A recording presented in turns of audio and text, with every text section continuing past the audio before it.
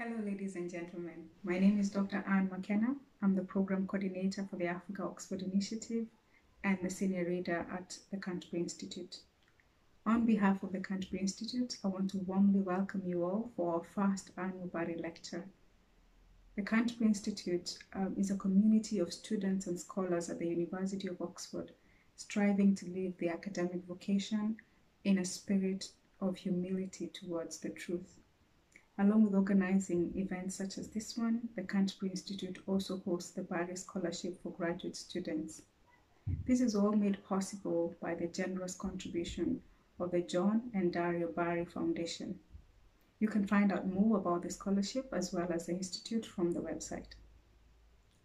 It is now my great pleasure to welcome our speaker for the first annual Barry Lecture, Professor Tyler VanderWeele. Professor VanderWeele is a professor of epidemiology at the Harvard Chan School of Public Health. He is a director of the Human Flourishing Program, as well as a co-director for the Initiative on Health, Religion, and Spirituality at the Harvard University. His research focuses on the application of causal inferences to epidemiology, as well as the relationship between religion and health.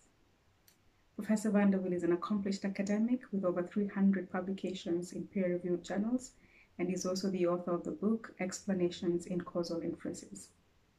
His work and outstanding contributions to the profession of statistics has been recognized with the prestigious President's Award by the Committee of Presidents of Statistical Societies in 2017. He is currently the Eastman Visiting Professor at the University of Oxford and a senior reader at the Canterbury Institute. Ladies and gentlemen, please join me in welcoming Professor VanderWeele.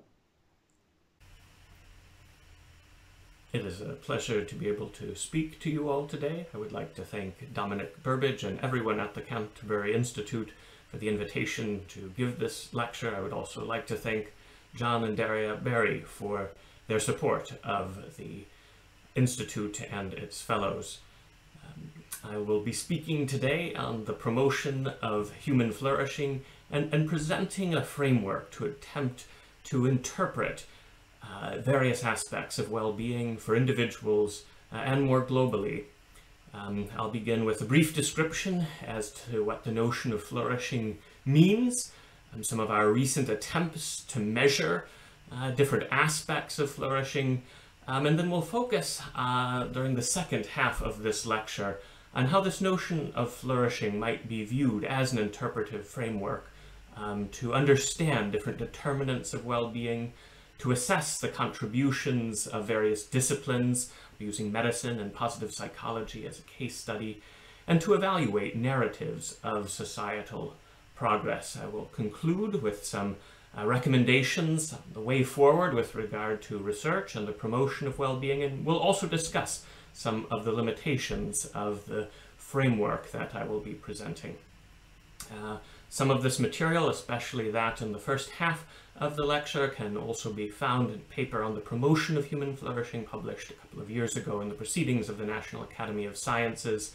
Uh, the Human Flourishing Program's work at Harvard uh, University is focused on many of the aspects of study that I will be presenting today. So if we look across our various academic disciplines, we see many of them aspire to rather grand visions of flourishing.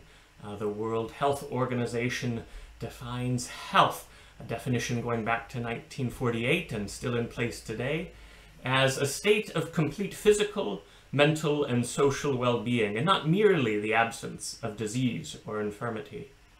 Uh, the discipline of economics is sometimes conceived of as an attempt to study the, the maximization of expected utility, taking into account all aspects of an agent's preferences. Now, the discipline of positive psychology is sometimes defined as the scientific study of the strengths that enable individuals and communities to thrive. So we see these grand visions of human flourishing that these disciplines are allegedly attempting to study um, but in practice, if we look at actual individual studies, we see that they are often restricted to very specific um, health outcomes or disease states, um, uh, very specific economic outcomes, or simple measures of positive affect. they don't quite capture flourishing in its full sense. Um, if we turn to what flourishing might in fact mean, what it might, what might be constituted by it, if we turn to our dictionaries, the Oxford English Dictionary defines flourishing as to grow or develop in a healthy or vigorous way. And the American Heritage Dictionary to do or fare well. Uh, the etymology of the term comes from Latin florere, to bloom, blossom, or flower. It's often used as a translation of Aristotle's eudaimonia, and sometimes also translated as happiness.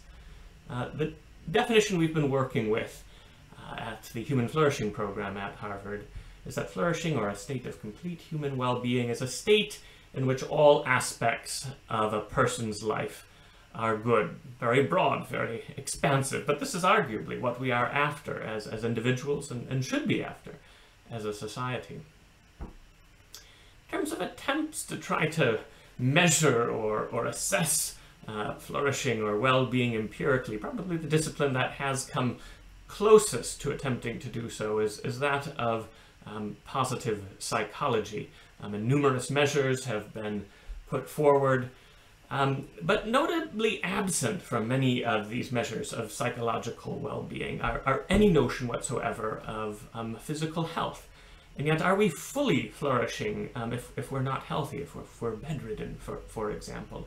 Um, it seems like health really ought to be part of a reasonable conception of flourishing.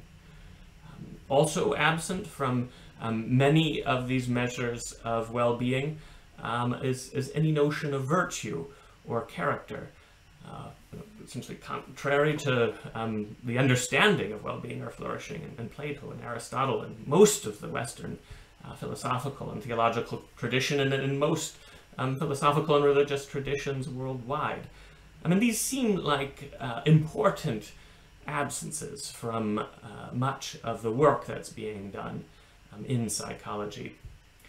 Um, but, but with a notion so broad as flourishing, is it really ever possible uh, to measure such a thing?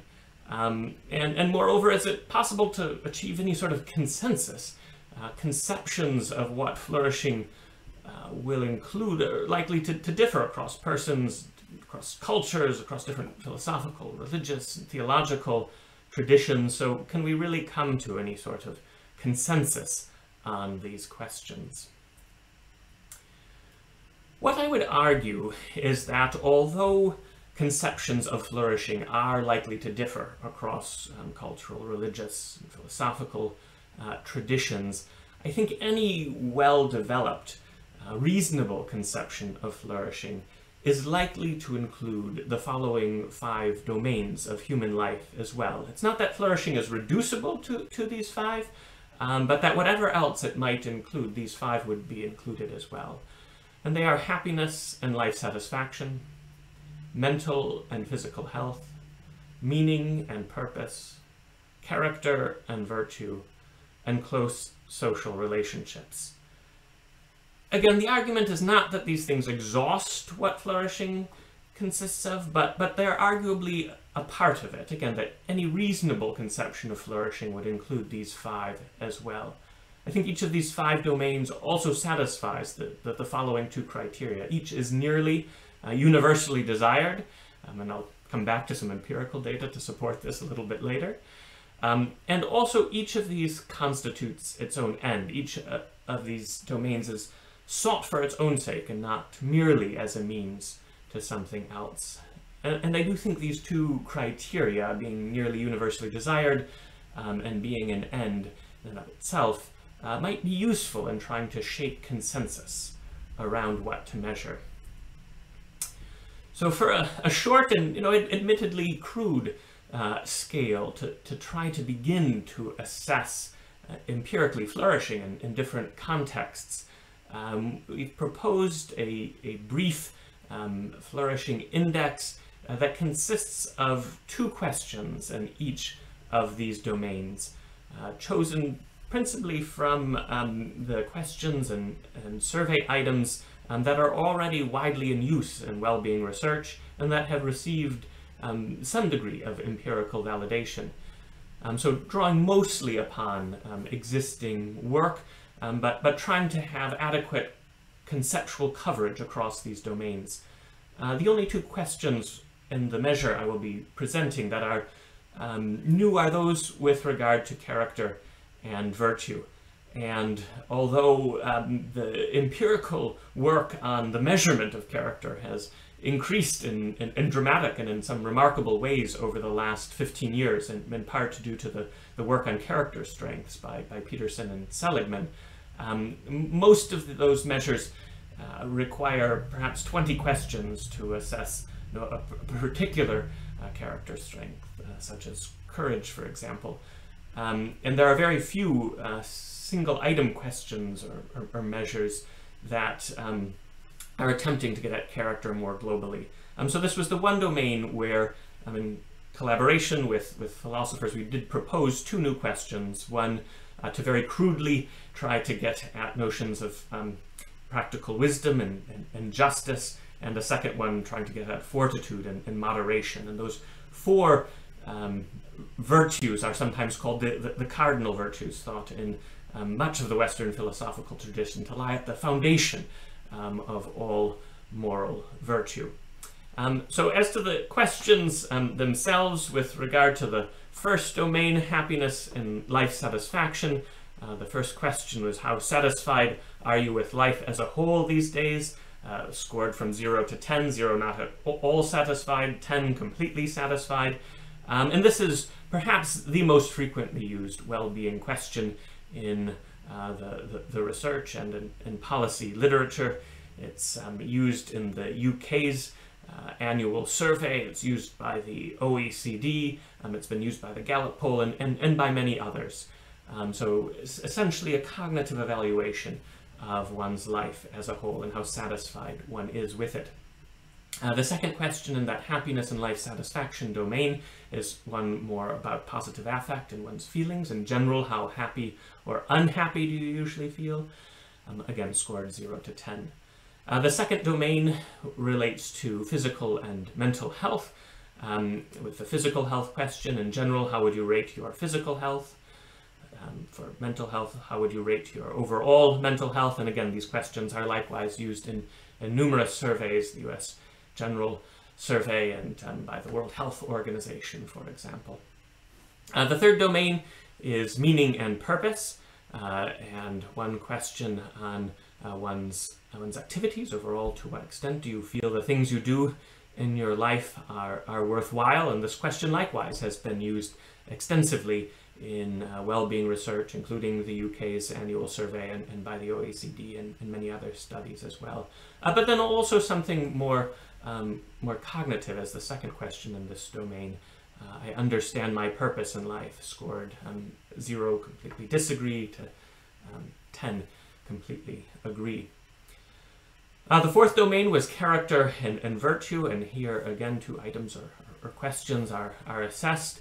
Uh, first, I always act to promote good in all circumstances, even in difficult and challenging uh, situations. Zero, um, not at all true of me, uh, 10 completely true of me, um, uh, and, and, and this item is essentially trying to crudely capture um, some notion of prudence or practical wisdom and justice. And then a second item trying to crudely capture notions of um, fortitude um, or, or, or, temperance and moderation.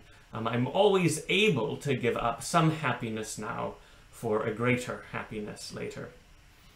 Um, and then the final domain, the fifth domain, on um, close social relationships. Uh, these two items were both taken uh, from the uh, review of the UK's uh, campaign to end loneliness's assessment of different survey items. Um, so these two were recommended uh, for relatively short assessments. Uh, the first one, I'm content with my friendships and relationships, essentially trying to capture the, um, the extent or quantity of those relationships, and then um, second, my relationships are as satisfying as I would like them to be, essentially trying to capture the quality of, of those relationships.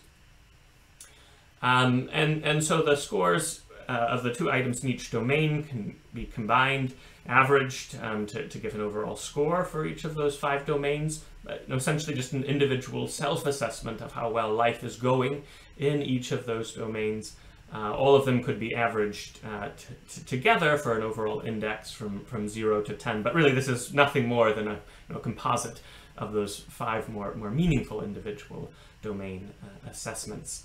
Uh, we've typically supplemented those questions with um, two others in, in some of the empirical work I'll be describing a little bit later in this lecture. Um, but two, two additional questions on, on financial and uh, material stability, because for flourishing to be sustained over time, one's financial and material resources should be um, such that these, these various domains of, of well-being um, can be supported. So the uh, two additional questions drawn principally from uh, the, the, literature on, on um, financial well-being are first, how often do you worry about being able to meet normal monthly uh, living expenses? Um, zero always worry, 10 never worry, and then uh, how often do you worry about safety, food, or housing? Again, scored zero uh, to 10. Um, and so the, the, the, sort of 12 questions as a whole could likewise be, be averaged for more of a, a secure measure of um, flourishing, which is, which is perhaps less satisfactory um, conceptually because financial resources really are, are means uh, rather than ends, uh, but, but maybe more satisfactory in practice insofar as uh, perhaps a better indication of the capacity to sustain flourishing over time. Uh, as a, a, simple example of, of the use of, of, some of these measures to give you a, a sense as to how the numbers uh, might play out in one specific context, so I'll talk about many others as we uh, go through the remainder of this lecture. Um, I'll, I'll, be presenting here some um, data on about 4,000 residents of, of North Carolina in the United States who are members of the Legacy Credit Union, uh, about 46 years old on, on average, 73% uh, white, 17% black, 10% other, 57% married, 15% divorced, 18% never married. Um, but we see here um, the, the various questions that had just reviewed, um, their mean across the sample and, and also their, their standard uh, deviation, how much spread is there around the mean. Um, so we see in, in, this particular sample, and, and many of these patterns are, are, similar in other samples, so I will come to some exceptions later on, but in this particular sample, um, there's greater satisfaction with life, than there is a sense of feeling happy. Um, uh, physical health in this sample was rated lower than um, mental health, and, and this kind of does vary across uh, the samples we've examined, um, this uh, particular sample has a larger proportion of older individuals, which, which may explain the, the lower physical health score. Um, worthwhile activities was rated uh, considerably higher than understanding one's purpose in life, and that worthwhile activities question was in fact the highest score across all of the um, different questions in, in the sample. Um, there was a stronger sense of being able to always seek to do what is good and, and right than, than there was um, being able to delay gratification, give up some happiness now for greater happiness later. Uh, this group was more content with their uh, relationships and the extent of those, and they were satisfied with them. Um, and uh, financial and material stability were, were among the lowest uh, rated questions, and um, uh, we've, we've seen these patterns, not in all, but in, in many of the, of the samples as well. So this just gives some sense as to how these numbers might um, play out in practice. Um, I won't bore you with all of the, um, statistical uh, complexities and, and, technicalities, but we, we have um, collected data on a number of different samples in the, in the United States, and um, Cambodia, Sri Lanka, Mexico, China, and many other countries now as, as well. Um, but the, the, psychometric properties um, generally are considered fairly fairly satisfactory for perhaps the more um, statistically, technically uh, in, inclined uh, Cronbach's alpha here uh, for the um, first five domains is 0.89, and for the uh, when we include the financial questions as well, uh, 0.86. So these are, are generally considered fairly good levels of consistency across the, um, the questions. Um, the, the, measure is undoubtedly subject to um, a, a, number of important limitations. I mean, first, we only have two questions per, per domain. I mean, this is important so that this sort of work and survey and, and, measurement can take place in a wide variety of settings. The longer uh, the assessment, the more difficult and expensive it is to administer or to convince others to, to include it in their work. So there are, are trade-offs here, but the fact that there are only two questions per domain is certainly a limitation.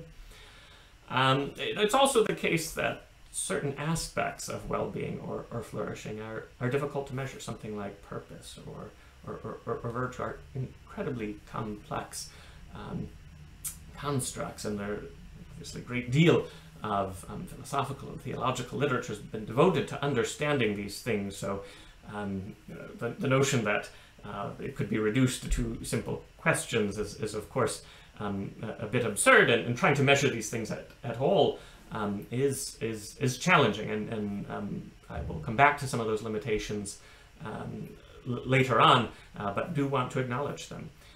Um, there's also uh, these these assessments are subject to potential self-report biases. The, you know, the possibility that um, individuals may want to give socially desirable responses, um, and for something like you know character, this might be thought to be particularly problematic.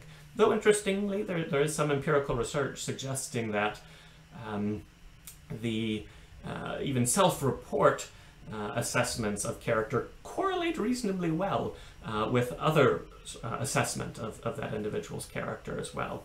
Um, so while these are unquestionably imperfect, I do think we are learning um, something from this data. For most people, someone rating themselves uh, a nine rather than a seven does does convey some information. Um, both might be overestimates of, of, of, the truth, but that, that variation still um, gives us information about the person's life. Um, and then finally, uh, certainly these, these five or, or, six domains don't cover all aspects of, um, of flourishing. Again, any reasonably well-developed uh, conception of flourishing would be much richer than these um, five domains or these um, 10 questions. And I'll, I'll, again be coming back to that as a limitation later on as well. Um, nevertheless, in spite of these limitations, I think um, some attempt at measuring is, is better than, than nothing at all. And um, as, as, as, you'll see, I think that these measurements um, do help us to gain knowledge as to the factors that um, help bring about well-being. Um, and I think uh, these attempts at measurement um, also are useful for um, shifting discussion and, and, priorities beyond just economic and health outcomes uh, to some of these other uh, dimensions and, and, and domains like uh, meaning and purpose or, or character. Um, moreover, I think the proposed domains may help us to achieve um, some consensus around what to measure. Again, each I think is nearly universally desired and each constitutes its own end. Um, and, and so I think you know can be useful as well for um, research in different cultures. I think maybe the exact questions one would want to ask um, in, in different cultures may, may, may vary across countries, but I think the domains are uh, are fairly universal. Um, we've begun some work on uh, trying to defend this notion that these, these various domains are uh, nearly universally desired. And so in a number of different contexts now, uh, not only have we asked individuals to assess themselves on each of these domains, but we've asked how important are um, each of these domains uh, to you, uh, and individuals rate the importance of each of these domains, again on a scale from 0 to 10, 0 not at all important, 10 um, extremely important. Um, this data here comes from a sample of about 2,000 employees um, at the insurance company, uh, insurance company Aetna. Um, and uh, in, although there's some variation across these domains, in, in um, virtually every case, um, the, the average importance score um, across individuals is about 9 out, out of 10, so very close to, to extremely important. Uh, we see very few individuals scoring any of these domains um, below um, uh, a 5. Um, so there, there is um, you know, some variation across the, the domains. Um, uh, in this particular uh, sample, physical health is rated a little bit higher than emotional health, rated a little bit higher than financial security, than purpose, than character, than a social connection, and, and this particular sample was uh, rated as, as the least important, though still still very important on the whole. Um, interestingly, in the, again in this sample, um, women and, and, men gave gave the exact same ranking of of the um, dimensions, though women rated every dimension as, as being somewhat more important than um, than men um, did. But the, the, the, overall conclusion from this data is really almost pretty much all of these domains are, are scored uh, exceptionally high. People consider each of these important, and we have um, similar data on importance rankings with similar conclusions from, from Poland and also other data from employees at Owens Corning. And we're continuing to ask uh, these questions as, as, as well. But I think we do have empirical support for this notion that um, uh, these domains really are nearly universally desired. Um, so we've continued to um, collect data in, in different settings. Um, we have data on employees at Aetna, at Kohler, at Owens Corning. We have um, data on these flourishing assessments uh, amongst factory workers in uh, Mexico, Poland, Sri Lanka, Cambodia, and, and China, and that list continues to expand. Um, we have uh, flourishing information now on a group of um, international flight attendants. Um, and uh, we also have data currently available or, or being collected um, in collaboration with uh, Johns Hopkins Psychiatry Department, UCLA Surgery Department, uh, medical students at the Medical College of Georgia and Stony Brook Medical School, um, data on primary and secondary school students with a slightly revised set of questions um, in the United States, the UK, India and, and China, um, a, a, representative community sample of, of residents of, of, Columbus, Ohio.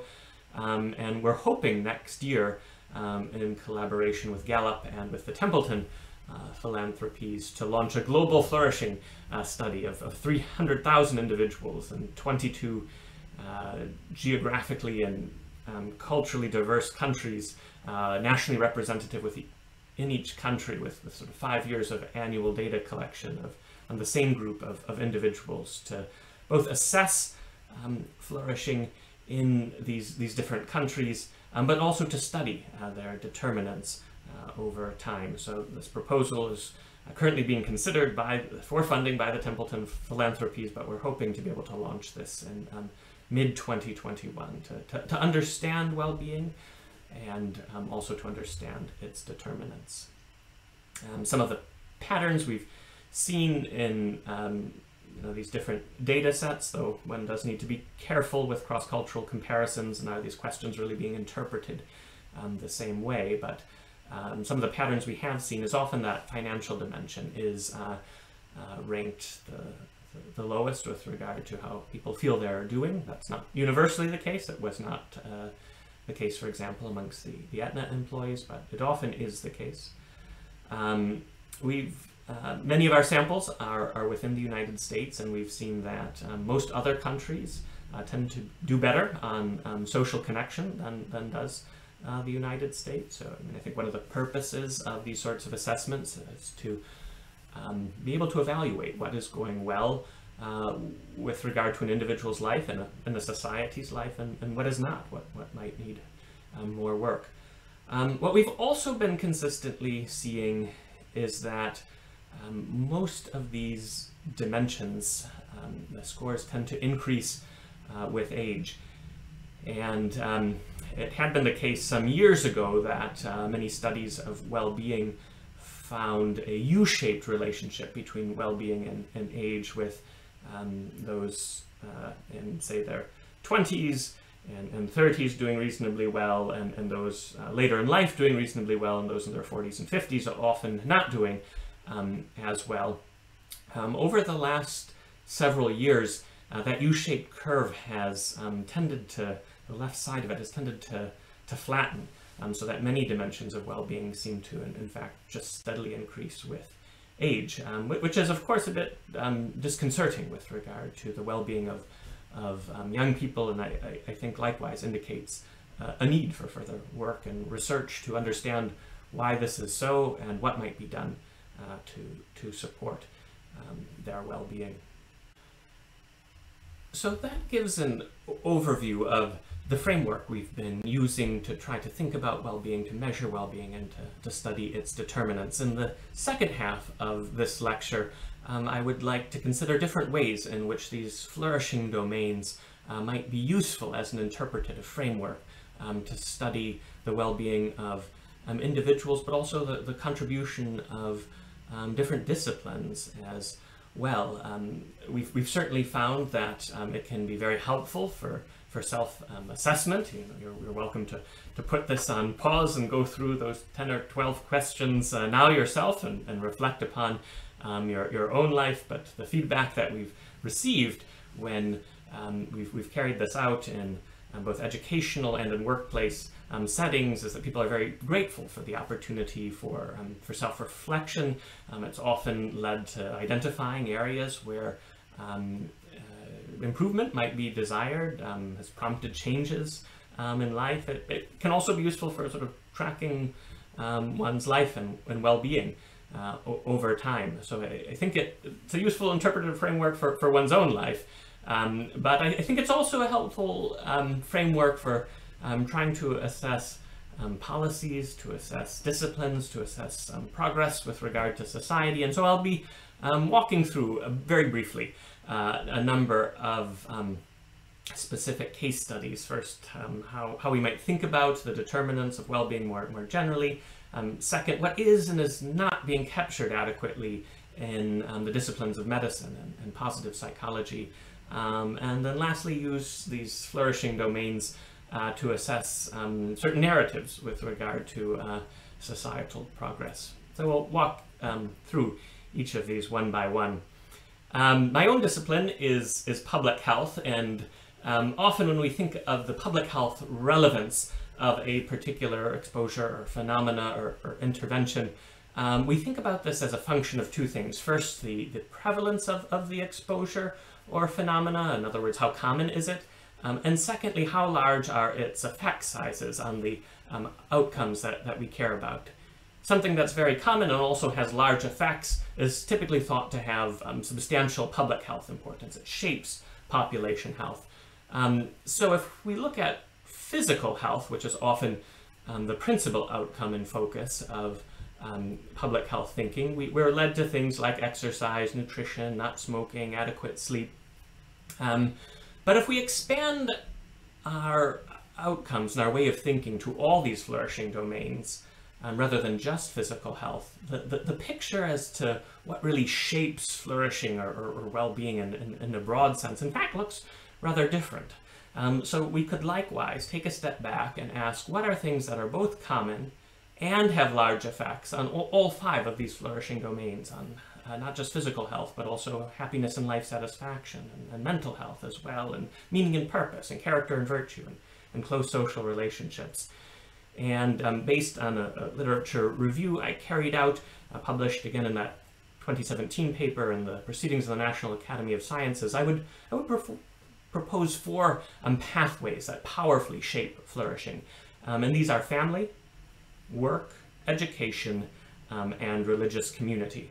I think um, each of these things is, is relatively common in, in many populations across the world, um, and each has, as a result of this literature review, considerable evidence that it powerfully shapes these different uh, flourishing domains.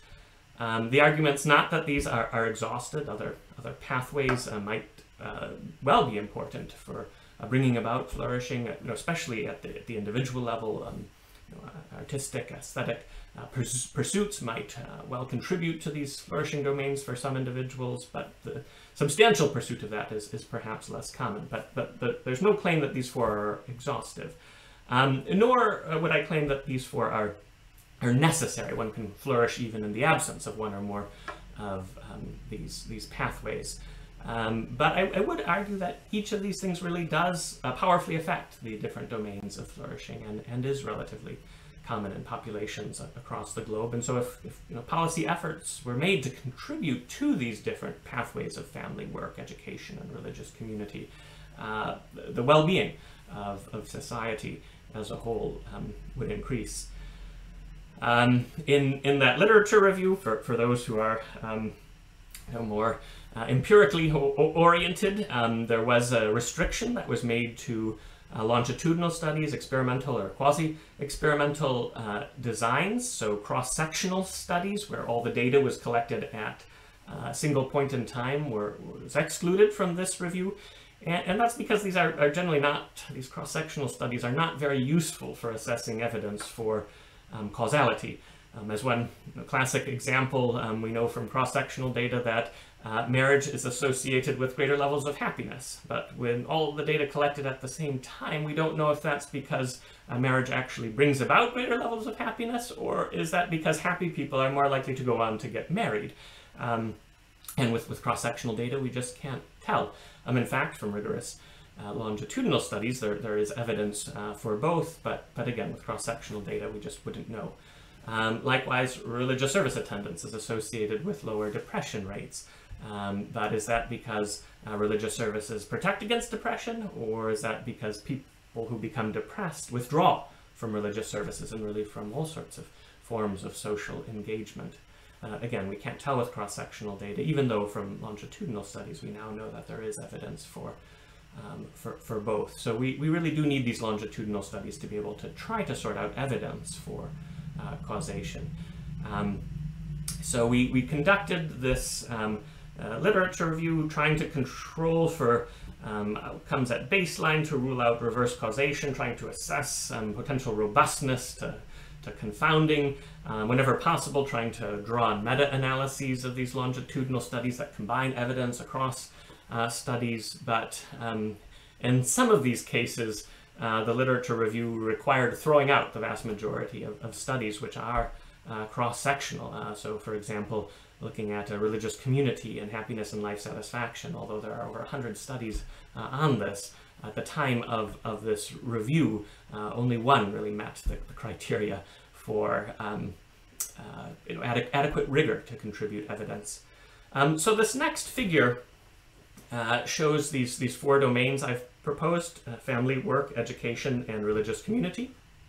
Um, and these five um, domains of, of flourishing. And um, the, the, the, numbers here are uh, various studies, uh, references in that paper um, that provide this, this sort of rigorous evidence. Um, the evidence is stronger in some of these cases than, than others, and there's certainly more work to be done uh, to strengthen this uh, evidence, but at least some evidence uh, from rigorous studies that each of these pathways contributes to uh, the various flourishing domains. Um, and uh, you know, I think policies that are put in place to promote family or work or education or religious community uh, would likely promote flourishing. Often, um, you know, policies are evaluated principally through an economic lens, but I think if we were to broaden the outcomes that we consider, um, it may lead to different sorts of policies put in place. Uh, so, for example, with work, um, I really think that welfare policy should be such as to not disincentivize work. Um, because although the provision of material resources or, or, or health care um, may adequately provide for um, material needs, the effects of work on well-being are much broader. It also provides meaning and purpose. It, it shapes relationships.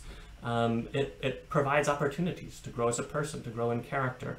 Um, and so when work is disincentivized by um, welfare policies, while material needs are, are met, the, the other aspects of flourishing are, are not. So, so welfare policy should be structured so as to um, promote engagement and, and, work. And there's been you know, impressive research done um, indicating that um, even for um, those with severe mental illness, supportive employment programs can, can provide um, uh, sustained work uh, over time, and these have been evaluated in, in, randomized trials. So I think we need to, to think creatively with regard to not just how to provide um, the material resources necessary, but, but to promote work itself. Um, you know, likewise with regard to um, marriage in the United States, at least in a number of states, um, the welfare system is, is such that um, one is one is penalized uh, by, by marrying rather than just staying as an unmarried uh, couple. One loses some of the welfare benefits. And this is problematic. Um, you know, while maybe there's only a marginal economic difference, if this is preventing marriage, and, and there's evidence that, that, that it is, these marriage penalties are, um, this will be impeding various other aspects um, of, of, of, flourishing, of well-being, including um, the depth and closeness of, of relationships, a sense of meaning, and, and um, evidence also that it affects the uh, flourishing of, of the children as, as well. So I, I think these sorts of marriage penalties should be uh, removed. Uh, within the realm of education, um, in the United States at least, there's a great deal of um, you know, debate over um, uh, school choice, public versus private versus religious versus homeschooling. Uh, much of that work, and I think the research is very important, has focused on academic outcomes. Um, but one, one could also look at how these different forms of school participation uh, contribute to other broader flourishing outcomes like meaning and purpose or character or, or relationships. And some of our current research at the Human Flourishing uh, Program is is doing uh, just that. And, and, I think that research would be supportive of a parental choice with regard to uh, the type of school and education so as to pursue a diversity of ends, not, not just um, academic achievement, though that is, of course, important and central. Um, with regard to uh, religious communities, the fact that there's now evidence that these uh, promote greater health and longevity, uh, lower depression, greater civic engagement and, and, volunteering, greater meaning, and numerous other outcomes, um, I, I, think implies that it really is important to retain uh, the tax exempt status of these institutions so they can carry out their, their good work. Um, you know, likewise, I think it's important that um, uh, many of the negative uh, media portrayals and, and portrayals in the academic world with regard to um, the problems of religious communities, which are real and, and need to be addressed. Um, but I think those portrayals need to be balanced by the positive contributions uh, these religious communities as uh, make as, as, as well. And uh, my own view would be that a lot of the negative uh, media attention um, has led to declining religious uh, participation uh, rates, and, and I think that has adversely affected um, the flourishing of our of our societies. So problems need to be addressed, but they need to be um, balanced by what these communities do to contribute to well-being. Um, so these are just some of the ways I think this flourishing lens and these different domains can be used to, to help understand policy decisions. Um, I'd like to very briefly now touch upon um, how this framework of these flourishing domains uh, might be used to understand the respective contributions of, of different disciplines um, and what might be missed uh, by some of these disciplines at, at present. And so I'll uh, focus uh, briefly on medicine and then on um, positive psychology. Um, so I, mean, I, certainly don't think these questions should always be asked in, in every setting. I'm, I'm uh, not convinced, for example, that in an annual physical exam it's necessary to go through the 12 uh, flourishing questions. You know, may, maybe in some contexts it, it, it, could be helpful, but I, you know, I certainly wouldn't advocate for um, universal use um, of, of these always. But I think there are a number of contexts within medicine um, where it would be useful to do an assessment of flourishing uh, more broadly. Um, one concerns uh, clinician burnout, the fact that um, more and more uh, physicians and, and, and, nurses feel they, they simply can't um, go on. Many regret entering uh, medicine. Um, likewise, uh, for many, the medical school experience and perhaps especially the residency experience is, is extremely uh, stressful in a time of very low well-being. And, and so I think these flourishing assessments can perhaps help us um, diagnose these issues, uh, to focus on the domains of flourishing that are um, in greatest need and to understand the efforts and policies that might be put, made and put in place to, um, to support well-being of, of clinicians to, to try to counter this phenomena of clinician burnout. Um, and some recent data published by uh, some of our partners at Johns Hopkins uh, University um, of those uh, six domains, that the health domain was scored uh, lowest of the six amongst clinicians. And, and, this is this is concerning. This is worrying. The clinicians are supposed to be um, providing um, health-related resources to the general population, they themselves are um, suffering most, it appears, from, from this data with regard to their uh, mental and physical health.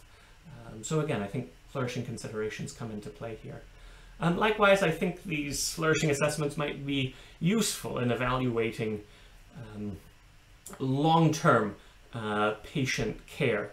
Um, sometimes such care is assessed based on um, patient satisfaction surveys, which I, I, do think have, have some value, but sometimes can indicate simply whether the patient was given what they wanted rather than what truly supports their long-term um, well-being. And this may be especially relevant at, at present during the, the opioid uh, crisis, where um, satisfaction might be high if the opioids are prescribed, but it can um, substantially diminish uh, well-being long-term. Um, so I think medium to long-term flourishing assessments might be a helpful way to supplement the uh, shorter-term patient satisfaction surveys.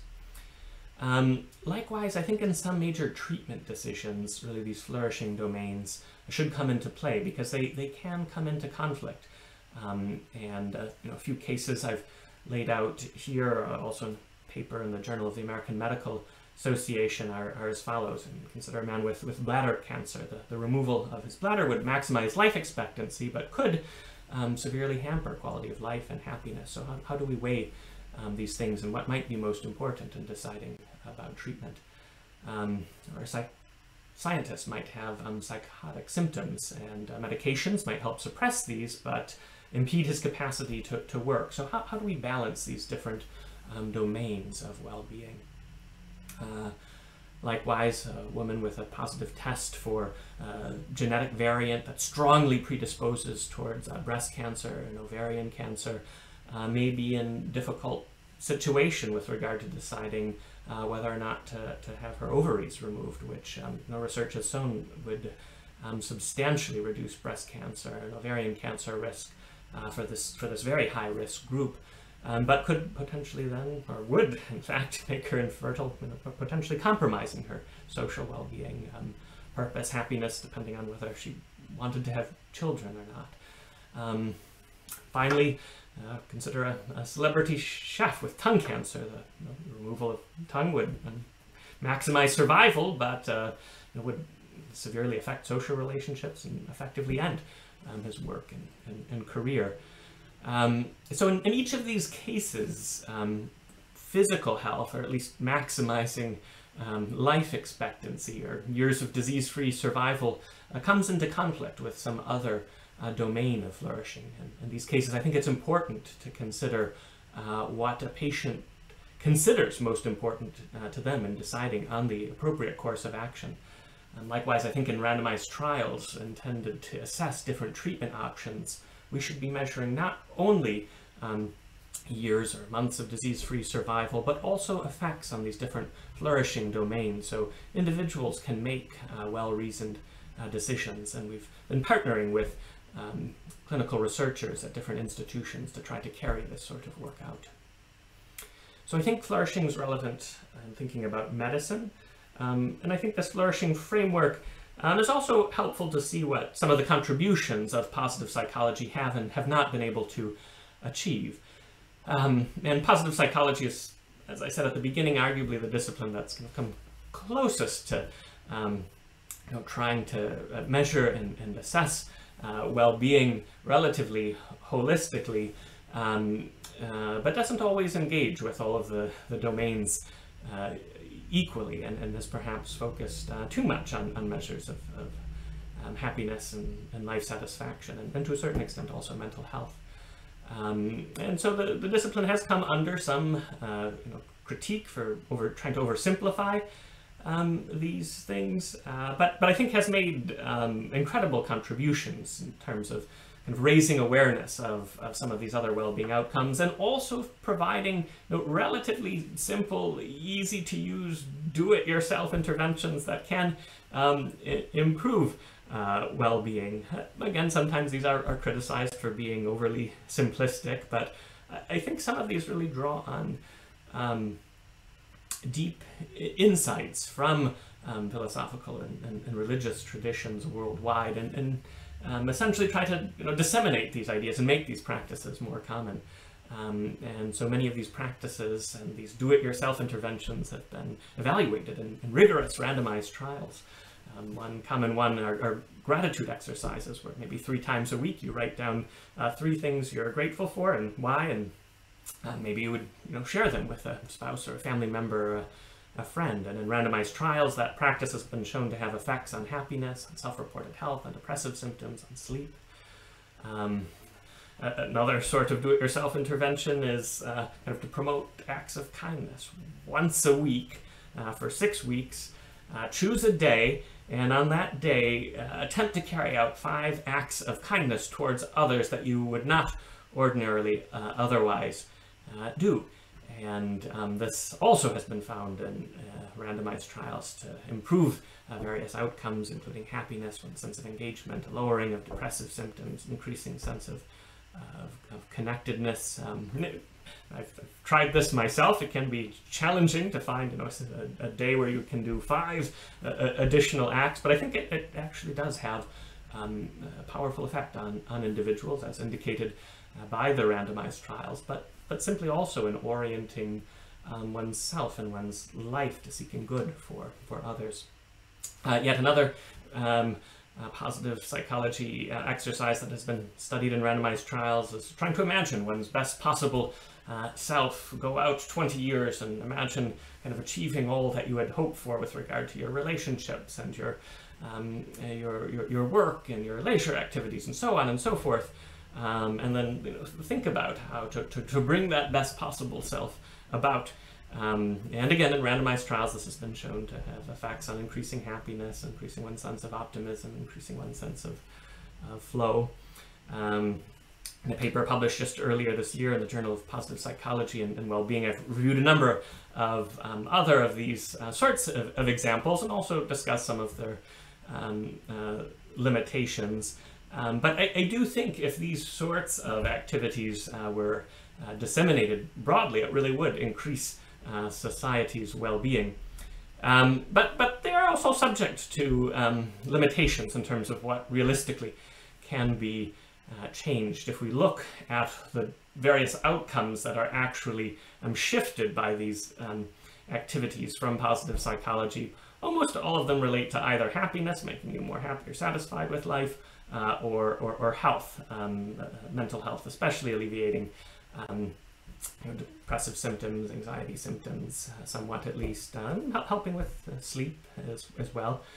Um, uh, and, and these are these are valuable contributions. Again, I think these sorts of activities should be used.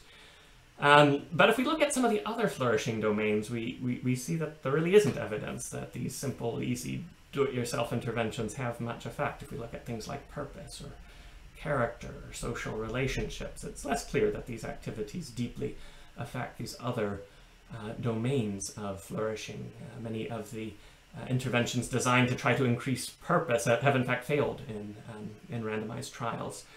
And uh, so I, I, think these, these other things are, are more difficult to change. Um, there, there might be uh, you know, other practices that, that can contribute to this. Uh, right now we're evaluating in a randomized trial in five different countries forgiveness workbook interventions, which distill um, 30 years of, of um, research in clinical psychology on this topic of forgiveness into a two to three hour do-it-yourself um, easy to use uh, workbook form uh, developed by uh, Everett Worthington based on his model of forgiveness to try to help people to forgive who want to forgive but are, are having difficulty doing so. So we're, we're going to evaluate uh, whether the, these practices of forgiveness might alter some of these other uh, flourishing domains. Uh, but I do think things like purpose and character and social relationships are, are, are more difficult to, to change with a simple one-off um, exercise. I think for these other flourishing domains, we probably do need to turn back to um, the communities that we're uh, a part of, um, much deeper institutional uh, commitments and, and relationships, things like family and marriage, education, work, religious community, uh, these institutional pathways for flourishing, I think, are important in shaping um, these other domains of flourishing. So I think you know the positive psychology interventions have, have been helpful, and, and uh, I think we should continue to, to investigate them and to develop new ones and to improve them. Um, but we need to be aware of um, their limitations as well, um, and return to the communal and institutional commitments that uh, promote flourishing. Uh, and the final case study I'd like to uh, discuss with regard um, to these flourishing domains and how they might be used um, as an interpretative framework uh, concerns narratives of societal progress. Um, and I'd, I'd like to, to, focus for a few minutes on um, Steven Pinker's book, uh, Enlightenment, uh, now, which attracted a great deal of, of attention. He's a psychologist at, at Harvard, one of my uh, colleagues. The book received a lot of media attention, it was on the New York Times bestseller list. Uh, Bill Gates declared it my new favorite book of all time. Um, and there's, there's been a lot of discussion of it, a lot of uh, critique as well. Um, a lot of the critique has focused on, on parts one and three uh, of, of, the book, um, the more historical and, and, philosophical parts on sort of Pinker's interpretation of the Enlightenment and his discussion of the importance of reason and science and, and humanism. Um, and uh, I think a lot of that's important and interesting uh, discussion. I won't be going into that here, um, but the majority of his book, part two, um, is really devoted to an empirical analysis, of chart after chart, figure after figure, suggesting that uh, despite popular belief, uh, almost all aspects of life, according to Pinker, have, have seemingly gotten better and better over time. Uh, he documents, I think correctly, uh, that we have higher life expectancy, that we're healthier, wealthier, safer, better human rights, less famine and undernourishment, uh, knowledge and education have, have, have improved. Um, and, and so his, his claim uh, is that as a society, um, the world has improved uh, uh, remarkably. And, um, you know, while I think what he presents is important and um, worthwhile and, and even um, correct, I think many of us have a notion, but it, it, just doesn't seem that everything has, has gotten better. Um, so we might ask, know, what's missing from this analysis? And here also, I think that um, that lens of the, the flourishing domains as an interpretive framework can be helpful. Um, if we look at Pinker's list of improvements in the world, which are, are important, and it's an impressive list, um, but, but we see that they essentially all concern either health or happiness or economics. And what's just as important is what has been left out of the analysis. And I think that is, for the most part, um, relationships, meaning, and questions of character. And, and, here, you know, I think the, the data are, um, are less clear that we really have been improving. And I think you know, real indication that, that uh, we should be concerned about losses in these areas. Uh, with regard to social relationships, uh, community participation rates have fallen dramatically in the West. Uh, trust, levels of trust have likewise fallen. Uh, marriage rates are considerably lower, despite that being a desired outcome for the vast majority. Uh, loneliness for adults, in contrast to the students presented in, in Pinker's book, uh, loneliness for adults uh, seems to be, be going up. The data is imperfect, um, but uh, the best data we have does seem to indicate that loneliness is increasing. So with regard to social relationships, it's not clear we're making progress. Um, likewise, with meaning and purpose, it's very difficult to get um, good data. We're hoping to change that with the Global Flourishing Study, but um, um you know, at, at, present we have just crude indicators here and there. Uh, but with respect to meaning and purpose, uh, unlike measures of happiness, measures of meaning and purpose are in fact higher in poorer developing countries uh, than they are in, in richer developed countries. Um, so we might wonder whether um, there have in fact been losses here as well over time. With regard to character, again, the fact that levels of trust have fallen is probably not a, a good indication that uh, um, uh, character's been improving. There, there likely have been losses here as well. Um, if you ask people whether they think others are living as honest and moral lives as they used to, uh, the the levels reporting yes have been have been going down. Again, a sort of indirect indication uh, that uh, we, we're not making good progress on improving the virtue and character of individuals and as a society. Um, Pinker does note that uh, on you know, many accounts, uh, levels of, violence and, and, crime are are lower. Um, no, but even this is um, complicated by uh, the interpretation of what, what constitutes um, violence. A practice such as um, abortion is considered by, by some an important right and, and by others as, as, as a death, as a murder. Um, and if you if you were to include um, abortion amongst violent deaths, then you know, the last half century would be one of the most violent of, of all of history. There's not going to be agreement and consensus on these points, but it certainly does uh, complicate the picture. Um, so while I do think the improvements to health and happiness and, and economics are are real, um, you know, perhaps uh, halted uh, in part by, by COVID-19 and the present uh, pandemic, but I, and I think the trends Pinker points out in this regard are important and substantial. Um, I think there may have been losses in social relationships and meaning um, and character, and so we might wonder whether we are trading off more material outcomes for these other flourishing outcomes that are related more closely to what it means uh, to, to be human. Um, I think this framework could also be helpful in understanding issues related to uh, physician-assisted suicide, trying to understand well-being in the workplace, to move from kind of wellness programs focused on physical health to well-being programs. Um, I think the framework could be helpful in understanding responses to COVID-19. Much of the discussion has been trade-offs between health and the economy, uh, but there are also challenges with, um, social relationships, with psychological well-being. And these flourishing domains are interconnected. There's evidence that um, loneliness and that lack of employment uh, leads to higher mortality rates. So we do need to trade off um, you know, these various flourishing domains and be careful with regard to uh, how, how we're doing so. Um, the current crisis might, might in fact in certain domains lead to uh, you know, elevated levels of, of, of, character, of helping others, uh, might help us to find meaning within the context of, of, of suffering. So you know, I think this flourishing framework and these flourishing domains uh, can be helpful in understanding these various um, aspects of well-being across different settings. Uh, this framework does have its limitations, um, as I noted earlier. Uh, you know, I think one of those is any uh, well-developed conception of flourishing is going to be uh, much richer than these than these five or or six uh, domains. Notably, you know, absent from from uh, this framework is any sort of notion of spiritual well-being, which of course is at the heart of many uh, religious uh, traditions. Um, you know, th there I don't think kind of global universal questions are going to be sufficient. I think tradition-specific measures of spiritual well-being will be needed, um, and we've been doing some preliminary work on development of, of such measures uh, as, as well, but that's still in very early stages. But I, I think it is important to acknowledge what is absent um, from uh, this uh, flourishing framework as I've presented, and I do think spiritual well-being is a, is a critical piece, and a lot of this work should be supplemented by tradition-specific measures of spiritual well-being. Um, likewise, I think notions of community well-being are um, important and, and, and central. The framework I've been presenting has focused mostly on individual um, level well-being, uh, but I think uh, you know, to, to, promote flourishing across the globe, we need well-functioning governments and, and, and societies.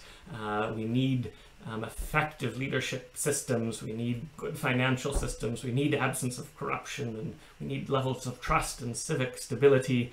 Um, and, and so um, community well-being needs to be a focus uh, as well. Um, and community community well-being can contribute to individual well-being. And we've again been doing some preliminary experimental work with various measures of community well-being also to, to supplement the various flourishing measures. Um, um, and while community well-being, I think, does contribute to individual well-being, I think the effects are in, in both directions, where um, individual flourishing, you know, perhaps especially with regard to, to, to meaning, to purpose, and to, to, character, to virtue, likewise, contributes to a fuller societal flourishing. Um, so when using this framework, I think it often helps broaden the lens beyond kind of economic and health outcomes, but uh, even with that broader lens, it's important to acknowledge what um, is is, absent, and uh, we're hoping in subsequent work uh, to supplement it with um, some of these additional spiritual well-being and community well-being measures. Uh, so in conclusion, I really do think a broader range of flourishing outcomes should be assessed in, in, in research or by governments and the schools and, and workplaces uh, and personal reflection. I think this flourishing framework helps to come to a more holistic understanding of well-being. I think it also helps us understand the, the pathways uh, that support these various aspects of uh, flourishing in their holistic sense, uh, like family, work, education, religious community, and to help put in place policies to support these pathways to flourishing. I think to bring this about, we do need an allocation, reallocation of, of, of resources, both financial and, and sort of human resources to promote this work, to promote uh, research. I mean, the fact that we know so little empirically about the determinants of meaning and purpose as compared to cardiovascular diseases is extraordinary, given that meaning and purpose really is something sought uh, by, by everyone. Um, so I'm all for the study of cardiovascular disease, but I think similar rigorous study ought to be devoted to meaning and purpose uh, as well. But that will require a shifting of, of governmental and of research resources to these other flourishing outcomes.